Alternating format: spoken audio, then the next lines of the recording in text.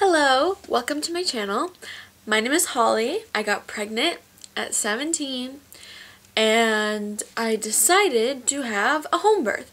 So I plan on making tons of videos about the experience, you know, my boyfriend's experience, uh, breastfeeding videos, teen pregnancy videos. I'm going to start off with a home birth Q&A that someone on Facebook sent me. They sent me a bunch of questions about home birth. So, let's just get started. First question is, did you have a water birth?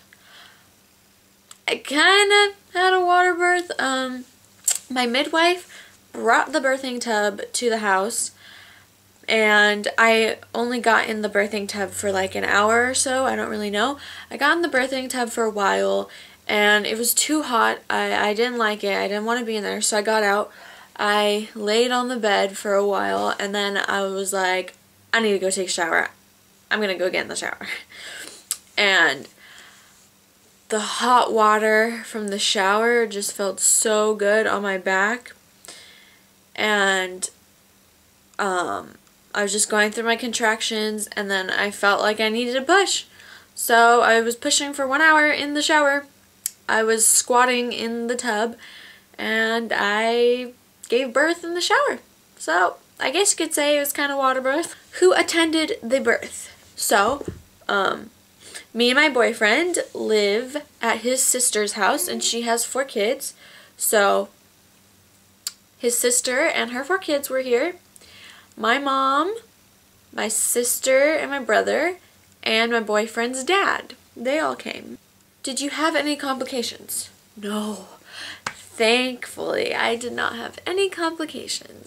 Did you have a midwife? Yes, I did have a midwife. She's amazing. Um, the reason I actually had a home birth was because of my boyfriend's sister. She had all four of her kids at home.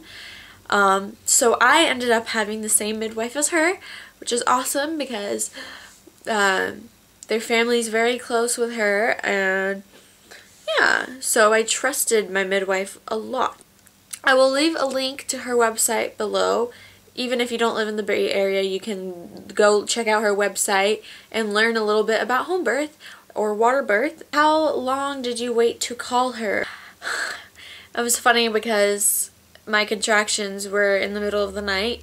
They were getting worse in the middle of the night and I was like, I don't want to call her yet. I feel bad. I don't want to wake her up.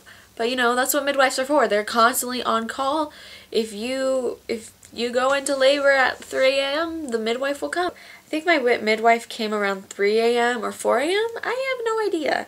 I wasn't really paying attention to the time while I was in labor. But yeah, I waited till my contractions were like three minutes apart. I, I don't know. Like I said, I wasn't paying attention to time. I don't I don't remember. But you you usually know when it's time to call. Did your water break? Um, I don't know. I think it did.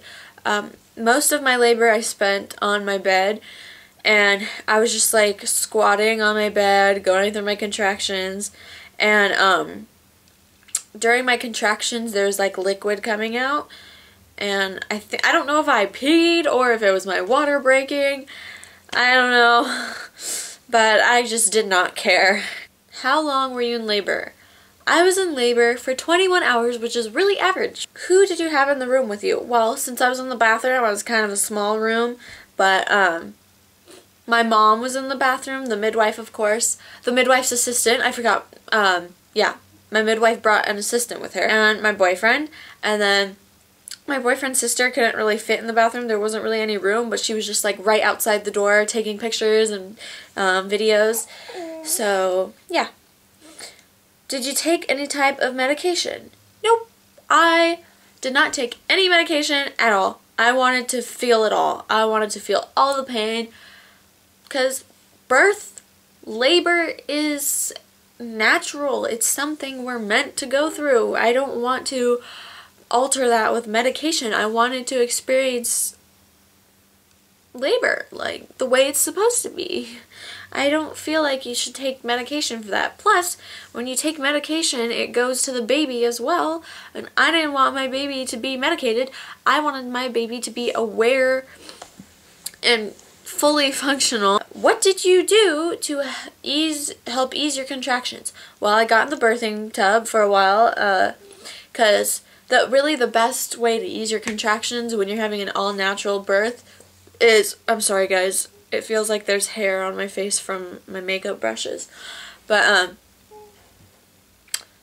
really the best way to ease your pain while you're having a natural birth is hot water, warm water, getting in the tub because when you get in the tub you're like kind of you get I don't know how to explain it, but it's like easy to float around and there's not much pressure on you. When I got in the shower, that felt amazing because I just had the hot water going on my back and, and that felt amazing. Also, my midwife's assistant is a massage therapist, so she massaged my back and holy crap, she's a miracle worker because she, when she was mas massaging my back, she made my contractions feel way less painful and I could finally get some rest. That was the last question. Um, I, I'm wearing my baby right now. He is one and a half months old, and his name is Cash. He's losing all his hair right now. Um, yeah, so feel free to ask any questions I didn't answer, but look forward to much more videos. I, I have so many video ideas to get more in depth in depth with like home birth and whatnot and teen pregnancy teen pregnancy and all that. So yeah, I also plan on doing like some makeup tutorials here and there. Yeah, so thank you so much for watching. Bye!